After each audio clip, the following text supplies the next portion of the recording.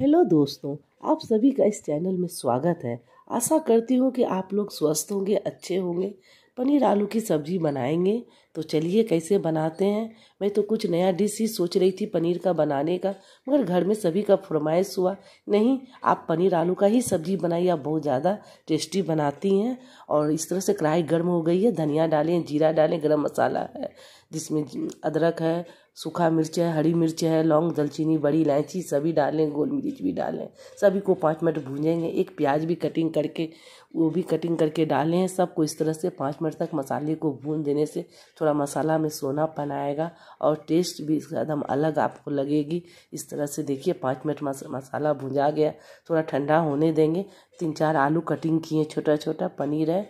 इसको भी pieces piece में काट लेना है और इस तरह से दो प्याज भी बारीक बारीक कटिंग किए हैं और देखिए पनीर भी पीस में कटिंग करके तैयार किए हैं। कढ़ाई गर्म हो गई है, सरसों तेल डालेंगे और कढ़ाई थोड़ा ज़्यादा गर्म हो गई थी, इसलिए थोड़ा साइड साइड भी लाल हो गई है और तेल गर्म हो गई है। पनीर जो कटिंग करके रखे थे, उसे भी डालेंगे, थोड़ा सा नमक भी डाले हैं और पाँच मिनट पनीर को भी फ्राई करेंगे, ज़्यादा भी नहीं करेंगे और इस तरह से देखिए कितना अच्छा से ये फ्राई हो रही है पनीर।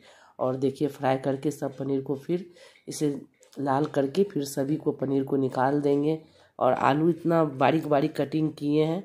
छोटा छोटा प्याज भी एकदम महीन महीन कटिंग किए हैं ताकि सब एकदम अच्छे से मिक्स हो जाए।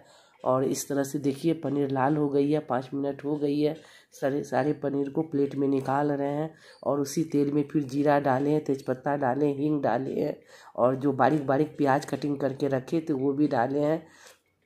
और इस तरह से इसे भी पाँच मिनट तक भूंजेंगे। कितना अच्छा से देखिए, प्याज भी थोड़ा सा भुंजा गया जो आलू कटिंग करके रखे थे छील कर आपको जितना डालना है, आप ज़्यादा भी डाल सकते हैं तो आप पनीर के अनुसार आलू डालिएगा। अगर पनीर ज़्यादा है तो थोड़ा आलू ज़्यादा भी डाल सकते हैं। अगर मीडियम में है तो मीडियम में डाल सकते हैं।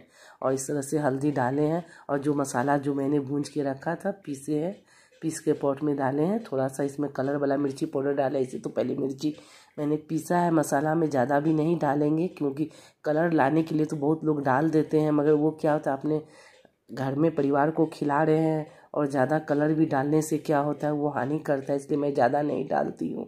इसी तरह मसाला देखिए कितना अच्छा से भुंजा गया, इतना टेस्टी बनती है ये सब्ज़ी, पनीर आलू का।